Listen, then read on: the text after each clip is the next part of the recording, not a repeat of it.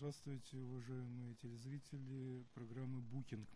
Сегодня у нас встреча а, с перформансьера, э, писателем, а, фотохудожником и многое другое, чем он сам вам расскажет, с Вилли Мельниковым. Позвольте вам его представить. Здравствуйте, Вилли. Добрый вечер. Рад вас видеть в нашей студии. А я э, ваше выступление наблюдаю уже, ну, наверное, с десяток лет, не меньше. И э, пришел к выводу, что, вероятно, более, эм, э, более оригинальной фигуры э, на э, литературном небосклоне, вы не только как литератор выступаете, я знаю, но я вас вижу только в литературных клубах, э, я, наверное, не встречал. Ну и, наверное, уже и не встречу. Спасибо, спасибо. И вот э, в вашем явлении на э, литературном просцениуме заключены несколько для меня важных моментов. Первое – это то, что когда я вижу ваше выступление, я понимаю, что, наверное, вы оригинальным и достаточно удачным способом сочетаете в своих выступлениях научный подход с подходом э, исключительно творческим. Да, я это привык называть симбиоз контрастов. Да. И, вот это вот э, отношение к научному мышлению, к научной презентации материала во время перформанса, мне кажется, больше ни у кого нет. Э, вам это удачно удается, хотя на самом деле э, таких примеров, наверное, еще и поискать, но во всяком случае я не знаю. А другое, это меня заинтересовало с самого начала, когда я в первый раз увидел, это было в Георгиевском клубе, и там я был с Евгением Доениным, э, который э, был просто, э, он в первый раз тогда слышал ваше выступление, он был просто потрясен, он даже вышел и сильно как бы эмоционально реагировал на выступление. Ой, надеюсь, не напился. Нет, нет, он был трезвый совершенно. А, а вот что касается этого выступления, я сразу тогда, поскольку я сам много лет посвятил научной деятельности, лингвистике и филологии, то меня э, заинтересовало вот это особое э, музыкальное э, что ли, ваше свойство, которое я до этого живьем наблюдал только один раз в литературной среде. Это был человек, который попал в автомобильную катастрофу. Mm. Это было лет 20 назад. Меня привезли в дом, где был человек вот этот. Mm. Он выжил, и, и до этого он был физиком, теоретиком. А после этого он стал музыкантом. И он этому не учился. Это у него произошло спонтанно. А, он начал играть на фортепиано, там еще на других инструментах, и просто гениально импровизировал. Я сначала, у меня это вызывало большое недоверие по той причине, что я думал, ну как это можно? А, поскольку для такого вот, э, что он показывал, нужно, конечно, как мне казалось, иметь музыкальное образование, серьезно и много лет упражняться. Но этого не было. Это у него появилось спонтанно. И когда я увидел вас, то я подумал, что возможно, что у вас э, вот это связано с каким-то таким же аналогичным явлением, что э, есть нечто, что превратило вас вот э, настолько чувствующего музыкальность речи человека. Как-то вы можете это откомментировать? Mm. Ну, что касается моего многоязычия, моего полиглотства, заложником которого я во многой степени стал, э, то, безусловно, как, как сказала бы сейчас, вернее, предсказала мне еще во времена вот нашего такого приятельства, еще Фаина Георгиевна Раневская, с которой я приятельствовал последние пять с половиной лет ее жизни, стоило мне призваться в армию на срочную службу после окончания вуза. Вот, и как-то так совпало, и через 20 дней Фаины Георгиевны не стало. И она мне говорила, подруга моя, Вильяма, у всех есть своя муля. У меня муля, это известная вам кинороль. Вот, а ваша муля, Вильяма, будет ваше полиглотство. Вот, вот, собственно, абсолютно так она сказала, совершенно в точку, снайперски. Но э, я просто хотел бы все время сползти с э, вот этой, будь оно неладно, полиглосии, по которому я, кстати, по которой я, кстати, даже написал недавно трактат, и он продолжает писаться по заказу э, Московского центра языковой психологии, с которым последние полтора года э, плодотворно сотрудничаю. И э, даже термин свой придумал «введение в лингводайвинг». Вот. И э, где попытался приоткрыть некоторые тайны полиглосии, например, истории и своей жизни. А вот эта самая моя музыкальность, без нее, безусловно, не было бы, наверное, и полиглосии. Но дело в том, что у меня просто от рождения абсолютный музыкальный слух, э, и я сам иногда пишу музыку, ну как, знаете, как э, по Пол Маккартневски. Пол Маккартни, как известно, один из лучших э, мелодистов в истории музыки планеты, но он до сих пор не умеет читать э, нотную грамоту. Э, я маломальски самоучкой этому научился, но музыка пишет, музыку изначально пишу просто напевно как-то в уме, и тут же и слова к ним, то есть готовые уже песни. И, безусловно, каждый язык я воспринимаю еще как одну такую партитуру, в этом смысле и нотная грамота, еще один алфавит, э, не что иное как. И каждому, каждому языку у меня подход, безусловно, прежде всего музыкальный, вот, но если уж говорить о ключах к полиглотству, то один из них лежит в первую очередь в отношении к языку. С одной стороны, такая вилка, двойственное отношение к языкам. С одной стороны, для меня язык это не самоцель. Это, с одной стороны, он для меня стройматериал, чтобы построить из него свой собственный арт-космос, арт-пространство. С другой стороны, каждый язык для меня это живое существо, мой старший брат по разуму. Вилли, мне очень нравится э, термин э, полиглосия по отношению э, к этой стране вашего творчества, и я при этом не считаю, что это полиглотство. А вот полиглосия, мне кажется, очень точно отражает да. то, чем вы занимаетесь, и я не вижу, с чем это можно сравнить. Полиглоса, что вроде свиноводства? А, ну, да нет, не, не, не в презрительном. Ну, есть да, да, есть да. действительности полиглоты, я имел Э, имею честь быть знакомым с, не, знаком с, некоторым, которые, с некоторыми, которые знают до 200 языков. А вот э, есть такие в мире полиглоты, которые знают до 600 языков. Mm-hmm. А, и свободно на всех э, на этих языках разговаривать, но это другое. Пока не знаком с таким. А вот э, э, тут э, проблема заключается в том, что этот полиглот может разговаривать на всех эти, этих языках, но он не чувствует мелоса. Э, этих языков, да. хотя его хорошо понимают, он сам понимает. Просадические да. они теряются. А у вас как раз вот эта страна э, очень сильно выделена, что ли, или вы ее презентуете, эту сторону. Я хотел вас попросить, да. если, конечно, не сочтете это за нахальную просьбу такую, вот э, воспроизвести, ну, скажем, 5-6 разнозвучащих языков, пусть даже незнакомых совершенно. Потом вы скажете, какие это. А-а-а. И кратко, ну, подряд, чтобы сразу было видно переход от одного к другому.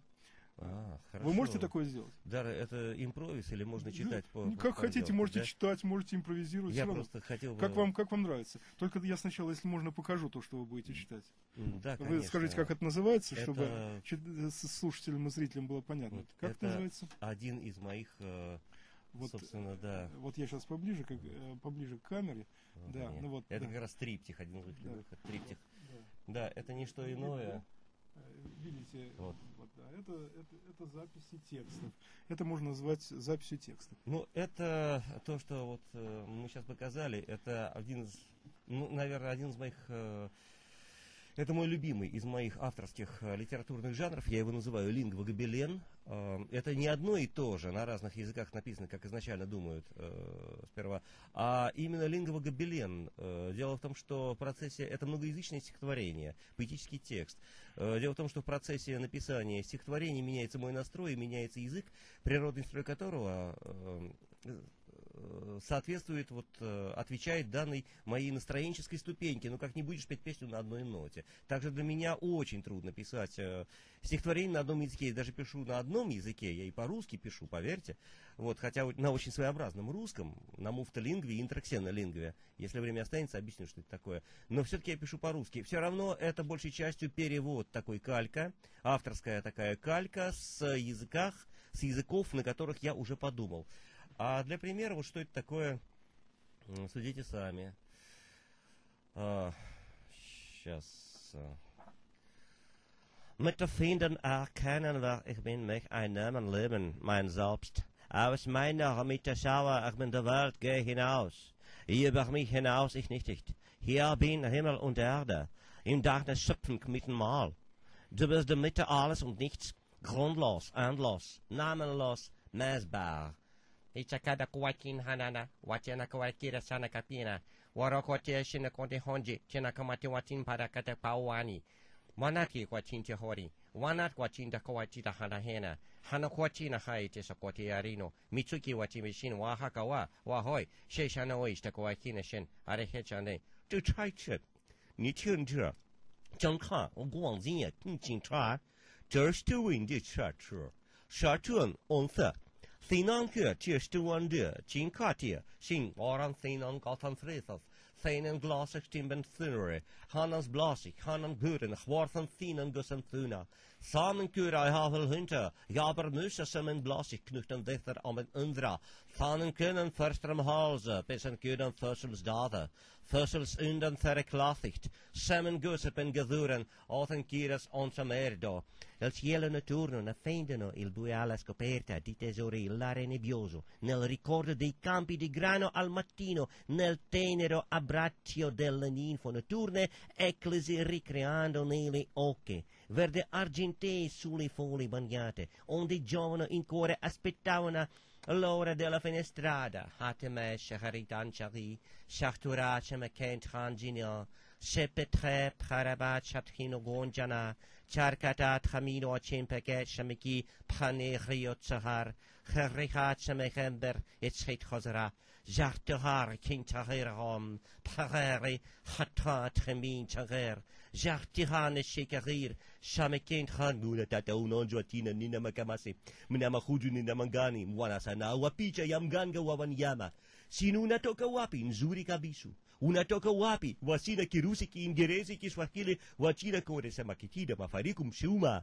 machinu tida samakina mganga wa shino washino dijarada kuati sakara kona hino hamachito de king dangis gorel utreno kao flash plamen ombelo kusijania облаci napadaju horizont последний путь из отчаяния врачao сам се sa vrha svetova višim od najviših soprana tražio sam princezu istinu na kraju modrog okeana samo kamenije oblik ne menja noć me razbila na sto delova a ja sam nikad neću moći da ih pokupim da se sastavim svijet je pregrađe grada Edena imam užasan strah od vozova pa bih da dame usna njene da me uveče odsvek izleče осень памяти с деревьев облетели пожелтевшие фотографии А, Спасибо.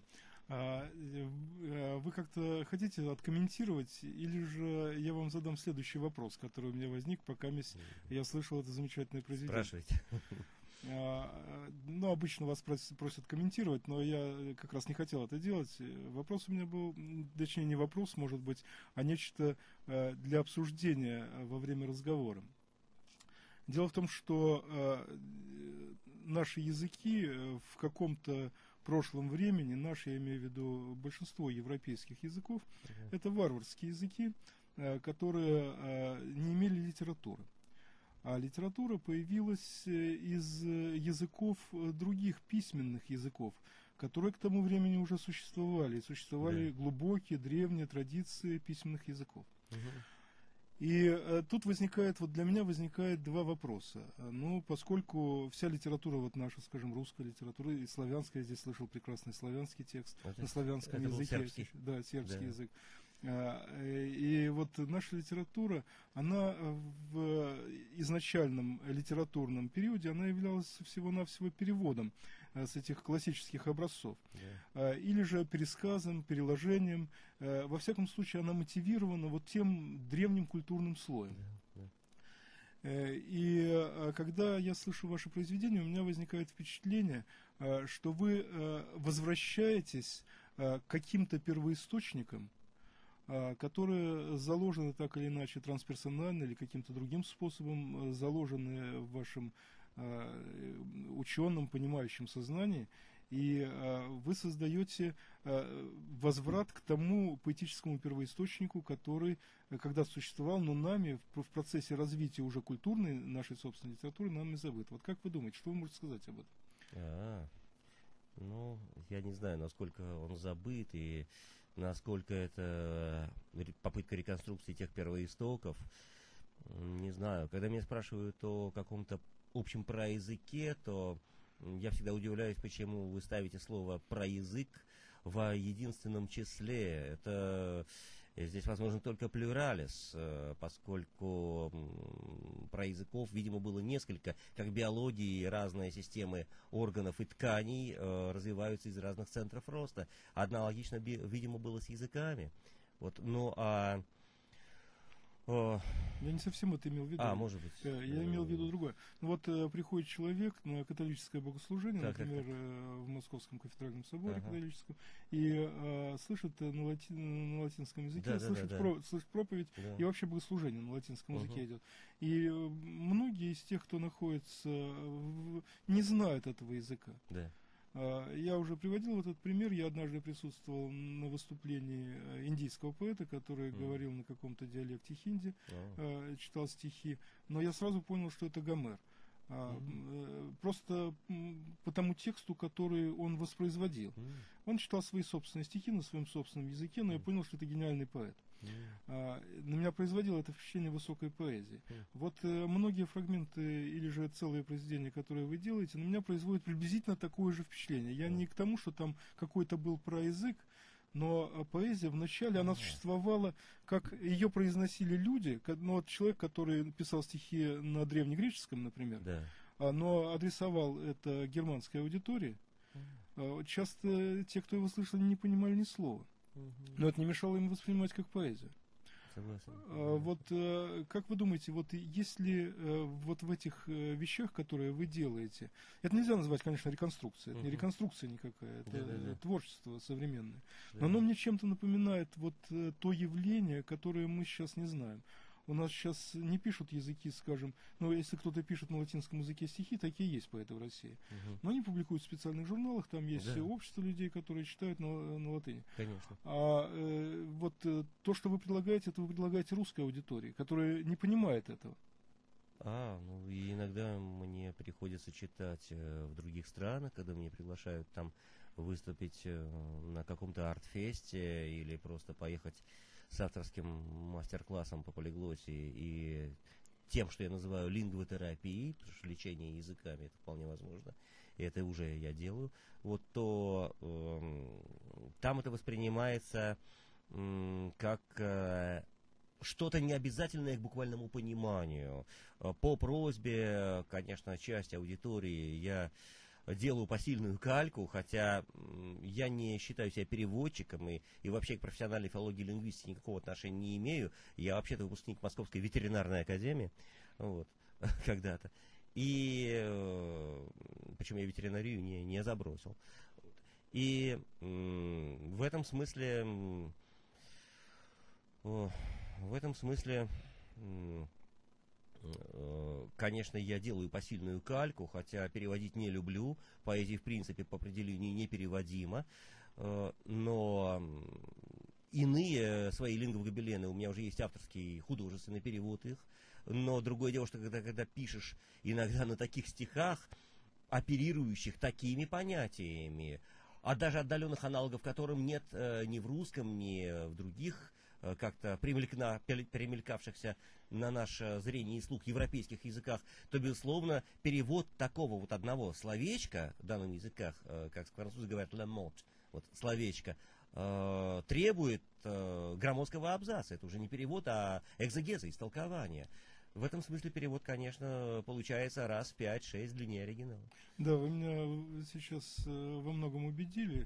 Э, уже как лингвиста. А, и я э, совершенно уверен, полностью уверен в том, что э, это не надо переводить, и оно и не приспособлено даже для перевода, что вот это произведение существует в таком виде. Вопрос же мой заключался в том, а, когда вы выступаете в русской аудитории, а, ну, да, да, да. то многие очень эмоционально, а многие весьма позитивно реагируют на это как на поэзию. А, вот как вы для себя это объясняете? Вы же далеко не всегда что-то там переводите, вы просто выступаете. А, вы, вы, вы показываете произведение. Я не перевожу, я просто пишу на данном языке. Вот а вот как вы объясняете вот интерес публики, интерес э, совершенно разных людей? Они не обязательно э, сведущие в языках, да. как правило, не сведущие в да. языках. И тем не менее они это слушают с удовольствием часто и испытывают от этого какой-то там э, блаженный восторг. Да не всегда, кстати, с удовольствием. э, Нередко мне приходится э, напарываться и на агрессивное отторжение м, линговых гобеленов или других моих авторских жанров. Там у меня есть еще люминоскрипты, э, взлетексты и прочее. Вот, но... или драконография та же. Вот, но да, действительно, видимо, здесь э, э, какая-то непредсказуемая иногда толерантность, иногда несостыкуемость психологическая с данной моей поэтической многоязычной тканью, вот, то есть вот тем же линговогобеленом, потому что я э, начал доискиваться, когда увидел вот этот совершенный э, нередкий неадекват восприятии моих стихов разными людьми, независимо от того, знают они язык, на котором я их написал и читаю, или же нет. Э, И до моего выступления, что они таких языков даже и не слыхали. Э, Но здесь э, так, таким образом, для меня самого неожиданно вот несколько лет назад обнаружилось лингвобеленом вот в марте этого года, вот скоро в марте-апреле будет уже 10 лет как жанру, вот, и вот за это время неожиданно обнаружилось психотерапевтическое воздействие вот линговогобеленов, и я это и назвал линговотерапией. Э, Ну, на кого-то, если, как известно, одному лекарство во вред, другому это спасает. Видимо, то же самое получается и с языками. Ну, а что говорить, что о э, каком-то погружении нирвану в одних и резком отторжении у других, ну, как говорится, я же не 100-долларовая купюра, что всем нравится, как и, впрочем, мое творчество. Вот. Всегда это бывает очень непредсказуемо, но я благодарен агрессивно, агрессивному а, отторжению, даже уже в том случае, если дальше внутреннего ощущения отторжения это не идет. А бывает, что даже и нахамят. Да. А, так вот, сейчас я хотел перейти ко второй части своего вопроса. Я же сказал, что есть э, как бы два у меня, э, распадается на две части. А, Я э, несколько раз слышал, э, что вы во время выступлений говорили о том, что а, среди э, ваших текстов есть тексты на мертвых языках. А, Да. И а, тексты на мертвых, я немножко знаком с этим предметом, и а, поэтому а, понимаю, что а, определенный период э, развития людей а, тексты написанные никак не озвучивались. Да, да. Отдельно люди говорили, отдельно писали. И Да. между ними не было соответствия между тем, что написано, и тем, что говорится. Это Мгм. потом возникло, а, как бы, и в связи с этим стали возникать алфавиты, там разные виды Да. письменности и прочее. А Мгм. вот э, то, что было в самом начале, оно было написано. И нам эти древние языки, как правило, известны по этим надписям. Мгм. А, потому что услышать этих древних людей мы уже не можем. Да. Мы только знаем, что они это не говорили. Увы, увы, да. А, но они это могли написать, и таким образом можно было, глядя, понять, о чем. А, И вот когда я смотрю на ваш линговый гобелен, который, ну вот я просто на удачу любой Да-да-да. выберу, ну вот, например, вот этот. А, Он организован а, как э, вход, как рисунок во что-то, э, который напоминает какой-то вход. Как он сочинился, да. Да, так он сочинился. Но я понимаю, что если тут есть э, какие-то надписи, которые должны свидетельствовать о языке мертвом, Мгм. Не знаю каком, неважно, э, существовал ли этот мертвый язык или не существовал, для меня это не имеет принципиального значения. Здесь парочка таких есть. Да. Да. Так вот, э, в этом случае я понимаю, вы озвучиваете, но я понимаю, что это э, сами носители этого, Мгм. предполагаемо, они не могли бы это озвучить. А, Я об этом не задумывался. Да, а, а потому что они просто это не озвучивали, и у них не было такой системы э, идеологических соединений, идеологических типов, они это не делали. Мгм. А, вот, но тем не менее вы это озвучиваете. И это мне представляется совершенно новым явлением, а, которое до этого никогда не встречалось. Надо же, не задумывался. Да. А, вот э, не могли бы вы э, что-то вот из, не из того, что вы уже прочли, а Ага. из чего-то другого, что-то прочесть, что относится вот к таким мертвым языкам, Да, где конечно. происходит вот это необычайнейшее явление озвучивания того, что никогда не звучало. Да, конечно, конечно, есть такие. Но прежде всего должно оговориться, что я не очень долюбливаю э, сам термин мертвые языки. Мертвые языки, я считаю, ну просто они э, какие же они мертвые, если на них э, так э, прекрасно э, и легко и естественно сочинять стихи. я их называю умолкнувшими. Разве что вот К- умолк- Умолкнувшие. умолкнувшие Да, языки. термин. Да, умолкнувшие. А мертвые языки, ну, мертвые могут быть э, люди, животные, но языки-то вряд ли. Вот, да, действительно, вот, э, вот на некоторых, вот, вот, вот из этих вот, вот здесь есть так называемые мертвые, хотя вообще-то они живее всех живых, поистине, э, вот эти вот языки. Вот, Да. вот. Да, такие здесь есть. Занимают ну, меньше половины пространства в каждом из лингвогобеленов. Это да. Сейчас я постараюсь их озвучить. Разумеется, мы не знаем, как э, люди, которые действительно говорили на э, языках бывшими современниками вот этих надписей, мы знать не можем. Все это лингвистическая реконструкция, и отчасти и моя авторская тоже, хотя я в этом, я не забываю ни на секунду, что я в этом профессиональный дилетант. Это не оксюмарон, это, кстати, очень даже ну, известный французский современный э, филолог, ну, с русскими корнями, кстати, с русско-польско-литовскими, Марина Ягелла. А Она еще в конце 70-х э, так э, манифестарно написала, э, в общем-то, в одном своем таком программном научном труде, что, как это процитирую просто, лингвистика слишком серьезная область, чтобы отдавать ее на откуп одним только лингвистам. Конец цитаты. Да. Ну вот поэтому я сейчас попытаюсь прочитать. Да-да-да. Сейчас настроюсь. Вот здесь я потом перечислю, что это были за языки. А,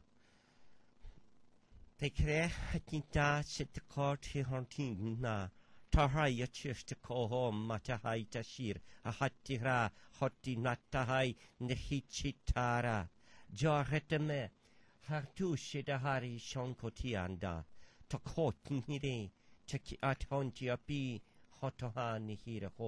hondati achon, thanahai ashint achon. Baka raudin titara, derteth o thor, thithtathahan te comber eit aiodor. Dachon ftahata tathi, thethtehan o hopina, tehte hapito, ti et tikkihitina, bathatayan dahot o avet, the et o apektum o avet. chiclatalat watin lakat watsam batlal atin tlawit kolapentakaw ti watimetin aral watin batslak tlakalak watin sa kenkavak vin hukuwatla lak watin pekalakete se wakemakatehet wakapatakatle latskuatin tikalake tskualikin sak watimataklatlal lachkuachi peketet thinkalataw simeketlat tokamitin thinkataw sa peketetlat motwachi matwaci kenzekin wakwati kiambatin huata karakato watim bekel lakwanch klit satans klit wachinch klit wasim akatlal tlaklak watim akatakatlak watim wasakatlak tlatz klit kunokuak kimbako watin sklatam tlatli tlatsklit kuana kwatim atlek pekes wakim belekitsom wakawatima hanahana watuam gatuatua hiamu ai ai wakawatia kakwatima kawawatu وماتواتينتا توافهينوا ووايكيميتكواتيا وري وري تاوانتيندرجتهن هنا هنا هنا قومتون جينجنا takatakin twasim ketem afatahata fehete wahima tikana fuwa fuwa wapaya tumakinta wakuwai wai wamatia kinta kawa tina hina hina. Hanawanta kinta wakotima hela hela walekina hina kapakai makina mi mahira kina mgatuakia sako wanikana kadhina yan tua tua. Э, Спасибо. Вы обещали сказать э, а, что-то о том, на каких это... Да, да, на да. языках. Вот, вот у меня. И, может быть, что-нибудь об этих каждого- языках, да. Вот, вот язык э, Тельмальтола, Тельмальтола, э, вот этот язык Тельмальтола, вот он э, был распространен в районе современного индийского северо-западного штаба Джаму и Кашмир, вот это э, Пенджаб, э, вот это совершенно такая проклятая спорная территория между Индией и Пакистаном, доставшаяся в наследствие от э, британской колонизации, и где уже более полустолетия не стихает война, и, увы, увы, и, э, возможно, возможно, это язык от своеобразный реликт. Те, что я читал, это такие действительно языки-изоляты, это главная моя лингвистическая любовь, это изолированные языки. И, возможно, он является потомком на его остаточном каком-то диалекте, говорят так называемый народ буришей или бурушаски, язык изолированный, непонятного э, происхождения и невыясненных генетических э, корней и родства. Вот. Он, возможно, является прямым потомком, э, чудом уцелевшим вот этого языка. Э, отчасти э, на нем, возможно, говорила находившаяся там же, в долине Верховья Ганга, э, харрабская цивилизация, или известная как Мохенджо-Даро. Другой язык был, это Кохао-Ронга-Ронга, это рапануйский, это один из гавайских языков, полинезийских языков. Точнее, это всем известный остров Пасхи, частично сейчас дешифрованная, и я посмел свою дилетантскую руку к этому приложить, частично дешифрованная, а частично еще нет письменность Кохао Ронга Ронга, э, я на ней читал. Затем э, Тлацкотекль – это язык одного, одной из народностей э, до Колумбового Юкатана, Мезоамерики, которые покорили индейцы майя.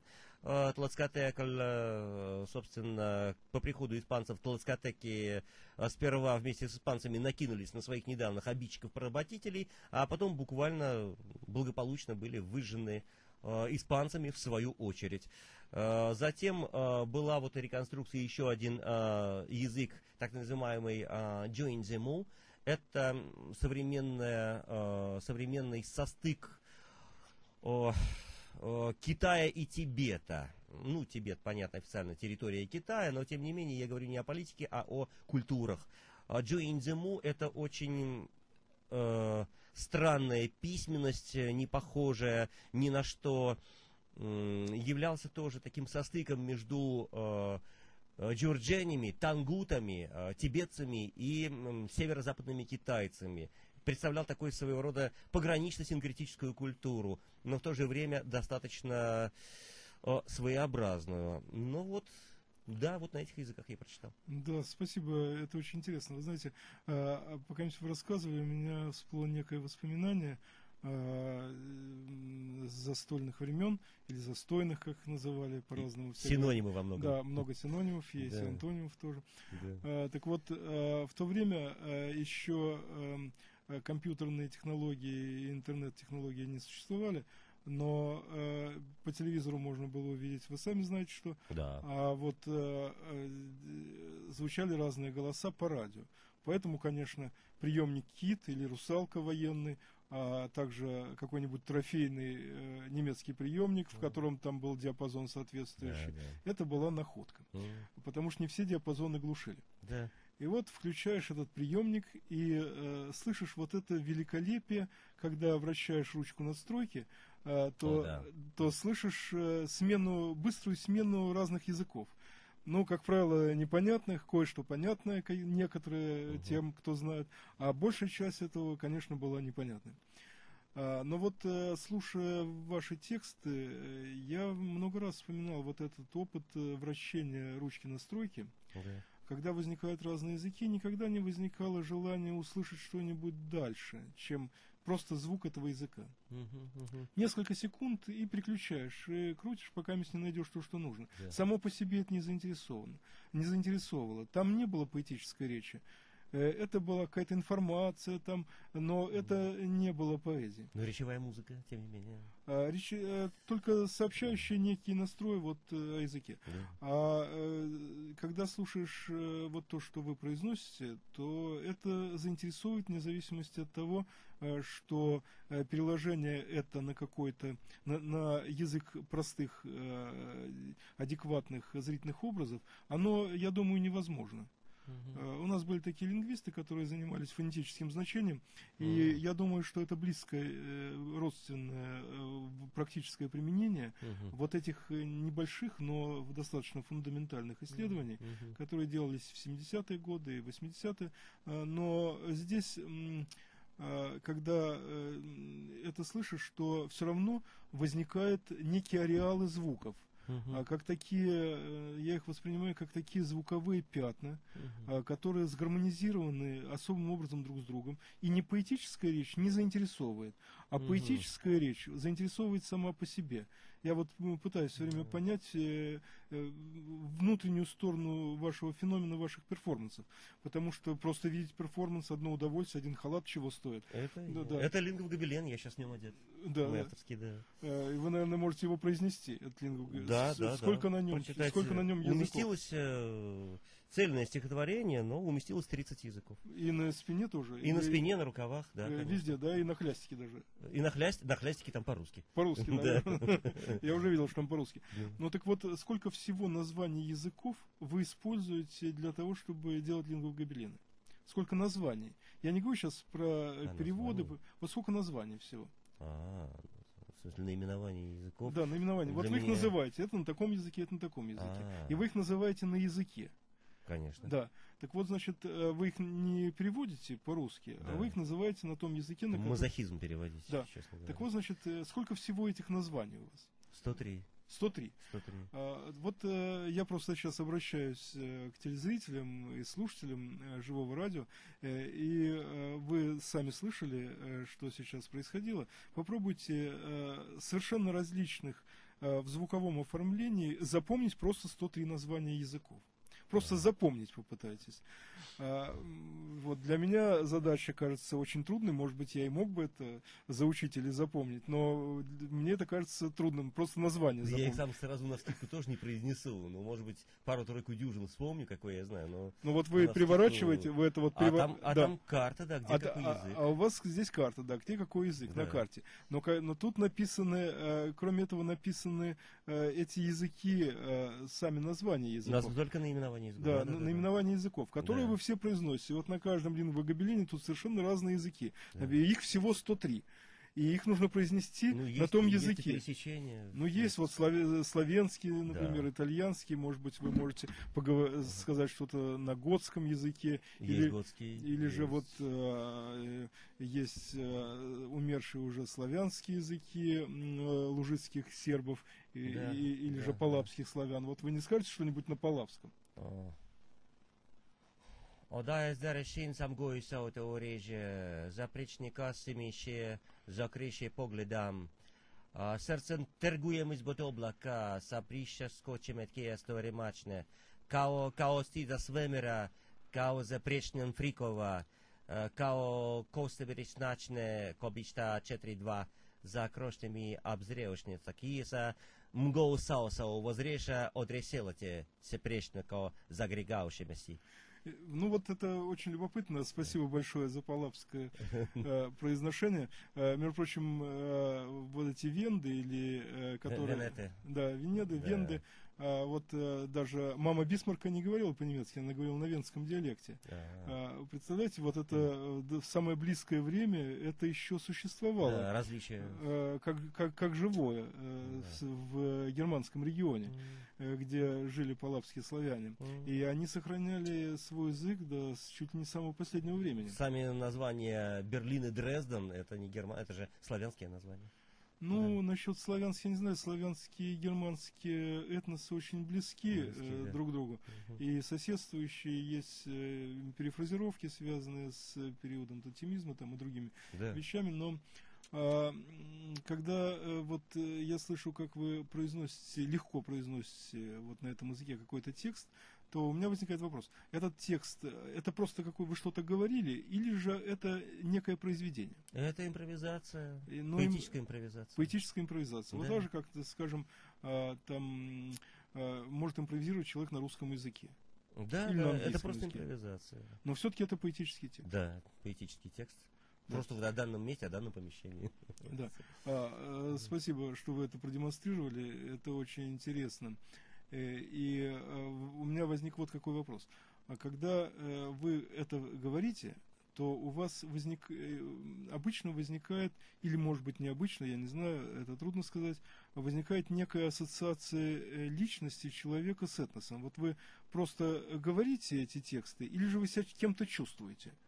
А, вот, да, очень, очень такой Как Пра- вот? Правильный вопрос. М, Да, нет, я не говорю. Когда я э, говорю и или думаю, и или пишу на данном языке, э, то да, действительно, я, если так задуматься, я полностью ощущаю себя носителем этого языка изначально, представителем данной культуры, данной нации, данного народа.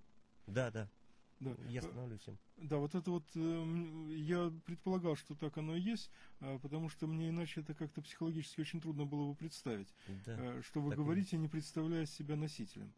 а, значит, вы носитель и... а, Я влезаю в шкуру Да. вот, представителя этой нации. Да. И вот когда вы так быстро переходите из одной репрезентации э, этнической в другую этническую репрезентацию, это как-то, по-моему, это у вас происходит не случайно. Вот если взять любой из лингвогобеленов, вот даже, ну, какой-нибудь, вот который вы еще не демонстрировали, ну, вот, например, вот это. Вот, вот. Вот он, вот он далеко Да, да, высовывается сам по себе, я не знаю, что здесь написано. Ой, здесь, да, Да, но я, вот я его вытащил, этот лингвогобелен, да. И э, здесь ясно, что здесь э, присутствует несколько репрезентаций. Да, Э, очень далеких друг от друга. Да, очень далеких Очень. этнических. И, здесь возник- возникает какая-то метафорическая особая э, взаимосвязь между какие-то э, связи, аналогии какие-то возникают. А, вот не прочтете ли вы вот этот вот э, лингво Хорошо, хорошо. Ой, а, ну вот это А мы попробуем уловить аналогии в это время. Конечно. И, или, может быть, наоборот, противопоставления какие-то. Guardado,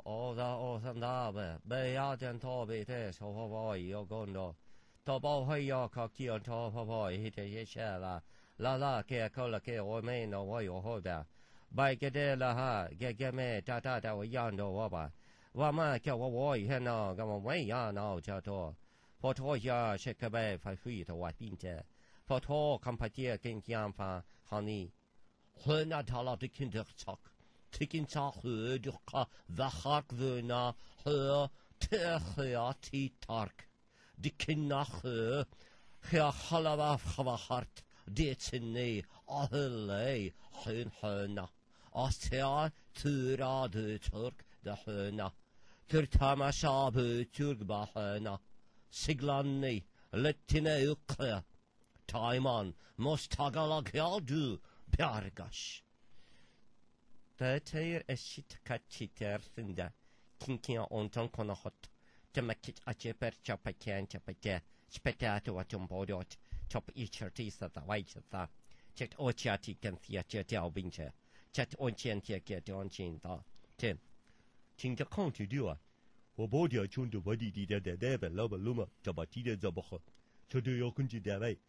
Valonjin ye de batio anchi makawai. Tambagewa timi ke wawai.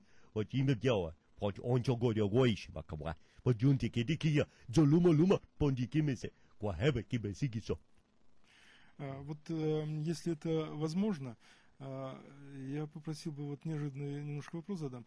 Вот сейчас мы слышали это замечательное произведение и, и видели, как вы это сделали.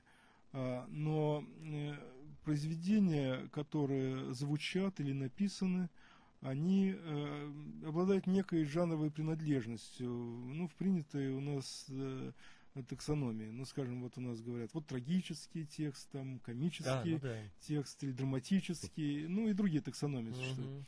А, так вот, а, когда, ну, ясно, что в человеке, который э, что-то слышит э, или видит и читает, грубо говоря, а, в нем а сам процесс чтения это очень сложное явление.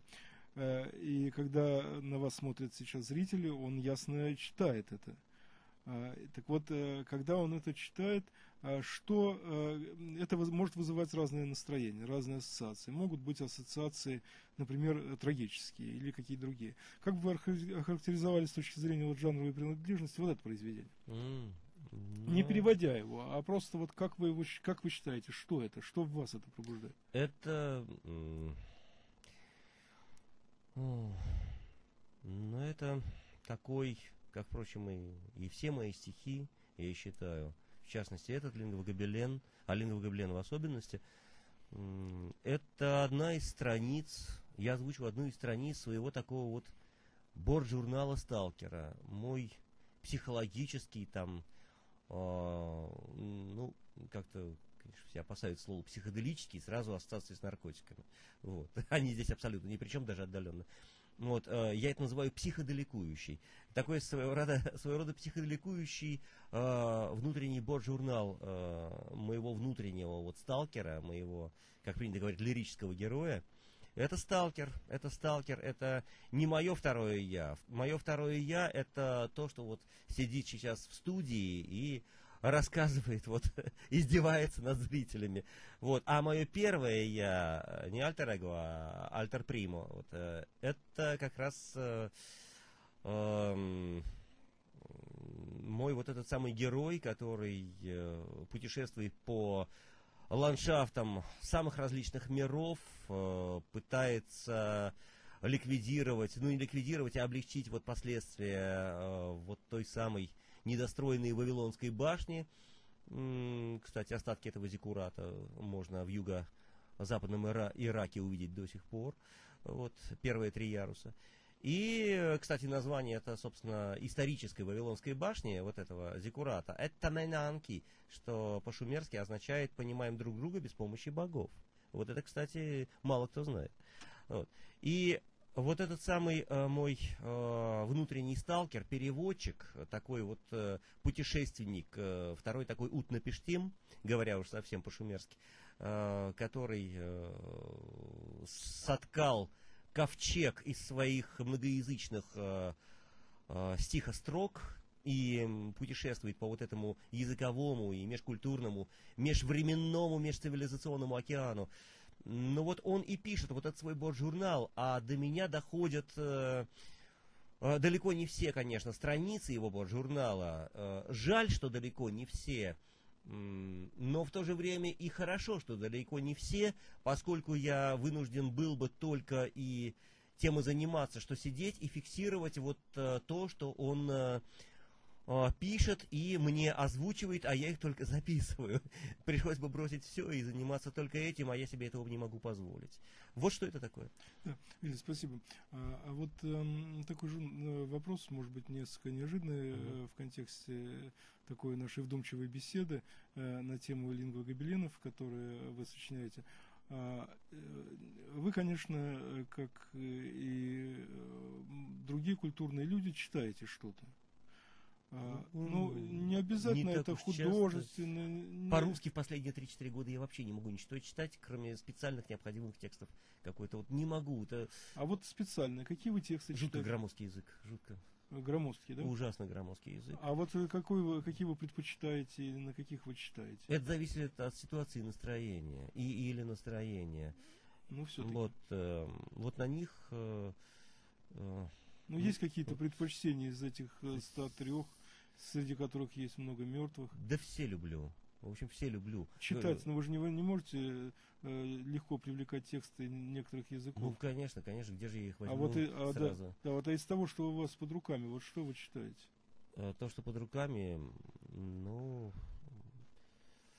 э, э, то, что под руками, но вот сейчас, э, сейчас как-то вот я облюбовал э, томик э, э, Артюра Рамбо, э, разумеется, разумеется, в оригинале. А Затем э, мне дали э, друзья, э, востоковеды, мне принесли распечатку э, поэзии Древнего Египта. И подумаю, чтобы начать переводить, но в то же время. Затем э, моя такая, одна из моих настольных книг, э, что называется, перед сном, это э, вышедший в 87 году в Китае определитель китайских драконов.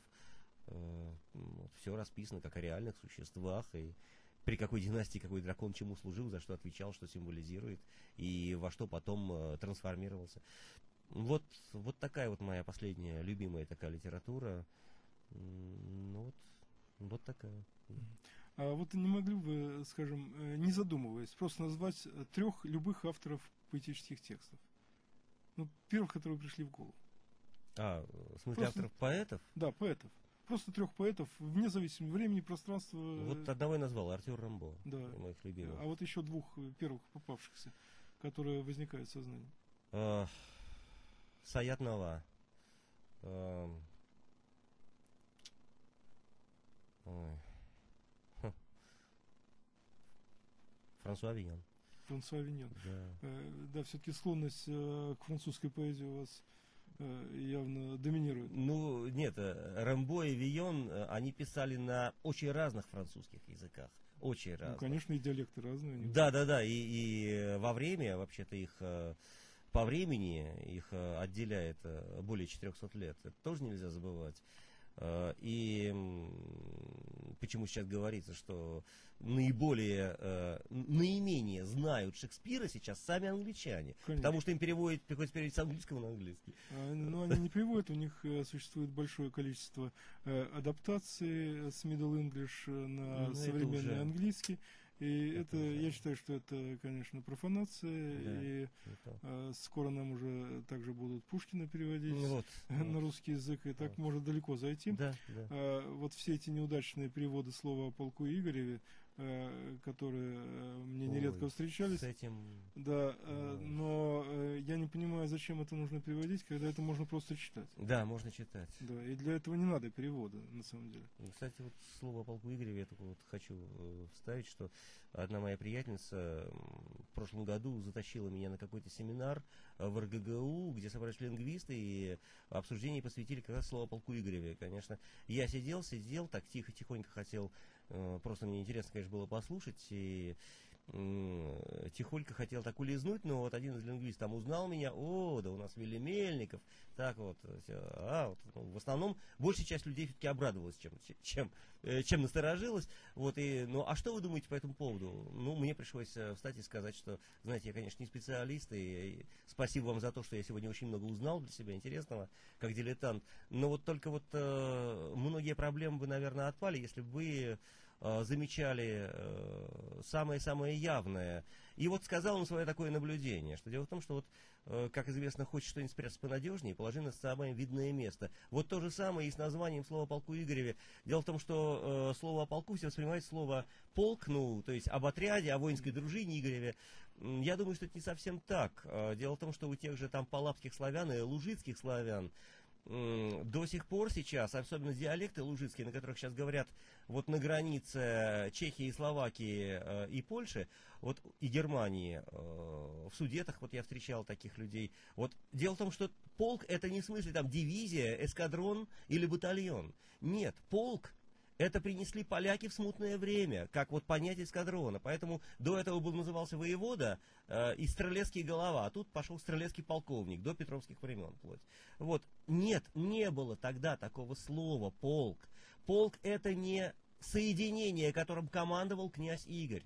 Полк это пелок, пелык или пелымка, в современном белорусском украинском помылка, ошибка. Рассказ о Игоревой ошибке. Мгм. Вот в чем дело.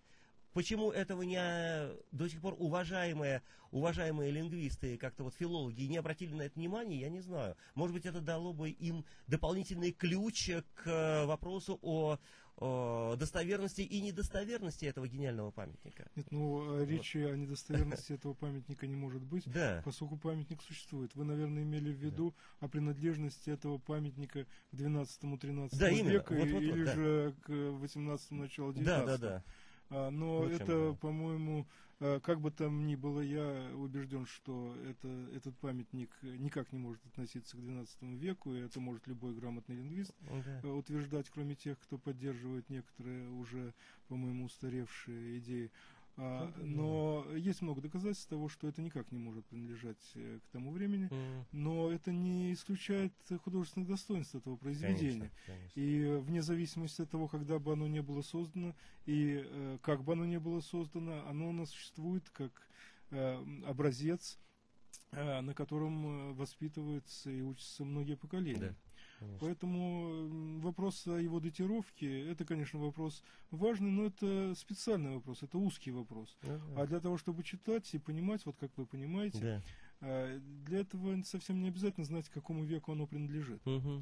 Э, Для этого нужно интересоваться культурой. Самоценность его не отменяется, конечно. Конечно. А Вот я в руках держу книгу, у нас же программа называется «Букинг», и, и, э, я держу одну из книг Вилли Мельникова. А, И книга называется, э, интересно для тех, кто любит такие сращения, «Неисправикинг». Не исправикинг. Это Э, «Неисправикинг», вот вы видите. один из книгу. моих самодиагнозов. Э, Да, но, но- да, но я ее э, пролистаю так, э, неисправикинг э, написан, как правило, на русском языке, хотя здесь есть ему э, и, и гобелены, и есть просто фотографии художественные работы Вилли. А, Фотоживопись какая-то. да, называют. фото, ну или же э, фото, м, как-то это называется, фотоманипуляция это называется на Да. художественном языке. А, ну может.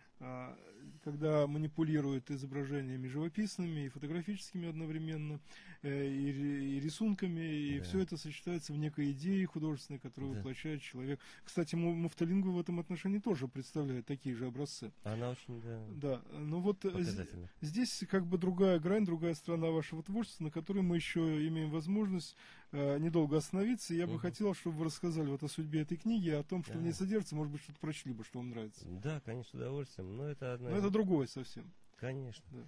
Но это один из моих только сборничков, э, на пятый, что ли, или шестой. Все они были изданы гомеопатическими совершенно тиражами, коллекционными, по 100 экземпляров, и давно уже разошлись. Большей частью среди западных славистов. Здесь это как-то вот никому особо не надо. Но, э, тем не менее, вот есть что возможность подержать в руке и почитать. э, и да, здесь мои стихи на муфталингве. Это мне сделали такой подарок. э, 100 экземпляров они выпустили, даже с цветными репродукционными вкладками моих работ. Э, э, Подарок на кафедре истории и теории литературы э, Донецкого университета, филфака ДонГУ.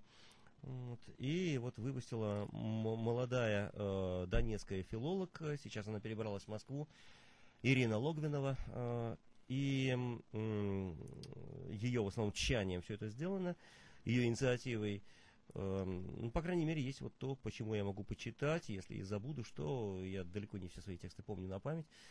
Э, Да, я пишу так называемые муфталингвой, это язык слов кентавров, э, где при образовании неологизма э, общим, э, напоминая соединение типа муфты, поэтому я так и назвал муфталингва, выступает один общеударный слог или, что важнее, один общеударный смысл. А, Вот. Э, И вот, э, да, вот пару стихов, насколько это позволит. Да, конечно. Вот. Можно даже не пару, а больше. Да, хорошо. Э, Ну, например, э, из э, книги, ну, когда я говорю из книги, не стоит представлять такой увесистый фолиант, это условное такое разделение, что ли. Не люблю слово цикл, э, оно несколько такое психоболезненное, цикл. Вот, а именно книги, так, э, условное такое разделение про себя. Из книги э, э, Бортжурнал штурмана железнодорожного плавания. Эм, Грезно горек на горе Кармель, недозревший плод самого Манго. Посадил ковчег на карамель, капитан второго бумеранга. Раздробилье, неде лишних глав. И строй цели, бат почти у цели. И в утопке не горит фрилав, если макер вал Макиавелли. Год кобылы любит ход конем, Ветербург, надменная коломна, Что в гостеприимени моем распророчеств отчество бездомно. И на озаревности скачок подсознахарь не дает отсрочки. В оболочке радужный зрачок, радуга ж не знает оболочки. Из вержерла вырвало слегка пики из-под облачной опеки. Эпизодчий строит на века плоско-пластилиповые мекки. Или вот из другой э, ясновидеокассеты из Вавилондона. Э, Инвитро зверитас воздам. Зов к ничего не происходу, где не созревность пней к плодам в самовлюбленную погоду.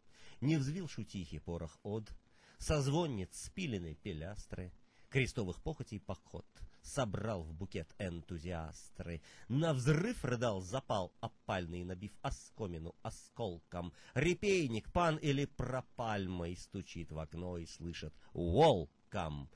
Пил до потополя плач пилы, во исцеление пуль от цели, на возоветер пыль в стволы набил, пророки загалдели, сменил капричи на киприт, изголодавшийся изгоя. Воспоминатрия хлорид лизнув, иду со сладким в бой я. Мигни, магический магрит. А, Или другое, это как раз эм, возникновестник из непредсказамка. Э, посвящение Иосипу Мундельштаму, одной из моих любимых моих поэтов, и в частности начинается оно эм, с двух его таких визитных, что ли, строчек. Попробуйте меня от века оторвать, ручаюсь вам себе, свернете шею. Устав вино виною разбавлять, из луж шипучих глазах и в роше пью.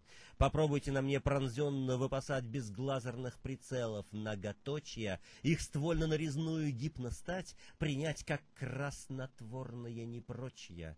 Попробуйте меня подковой подкупить, пробелом прописав прополоскачки, притарианцев приторную прыть, нейроновым нейроном в счет подачки. Заточено за тучи, день шестой. Из-под небестий, что так звал Енох, нет. Попробуйте меня кормить капустотой, присыщи из вакуум и сдохнет. Предчудствия мои предотврачи.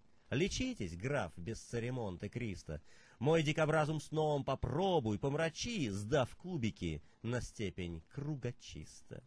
Высокий обольститул ищет знать. Сквозь смех колодца небо плачет сухо. Попробуйте меня в двадцатый век вогнать, ручаюсь вам, ему взорвете брюхо.